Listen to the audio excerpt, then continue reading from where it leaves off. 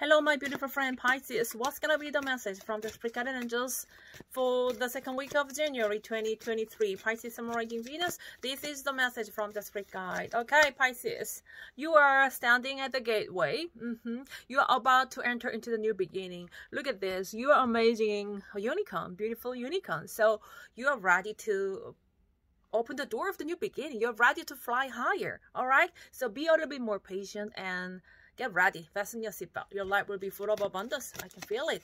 All right. So before you jump into the new beginning, I feel like that the angel want you to purify your negative, toxic, negative energy, which happened from the past. Okay, say goodbye to it and try to be light-hearted so that you can fly higher. All right, be a little bit more patient. The beautiful new beginning is definitely coming in. So try to love yourself more. I know you want to manifest new beginning right, I mean, right away, but yeah, let's see. Okay, thank you, and I think it's Spirit Guide, Pisces, I'm Summarizing Venus, your message from the Spirit Guide for the second week of January. What's coming in your, oh my gosh.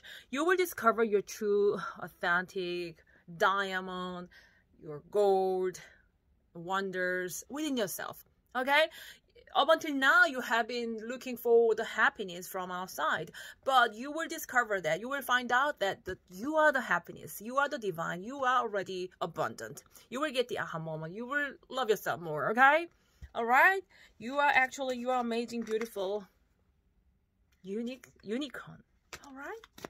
So trust yourself and oh my gosh trust yourself and love yourself more Finally, abundance, beautiful flower garden, abundance garden is coming your way. You're about to jump into the garden of abundance. So be ready to be happier, okay? Hope this helped you navigate your life. Bye.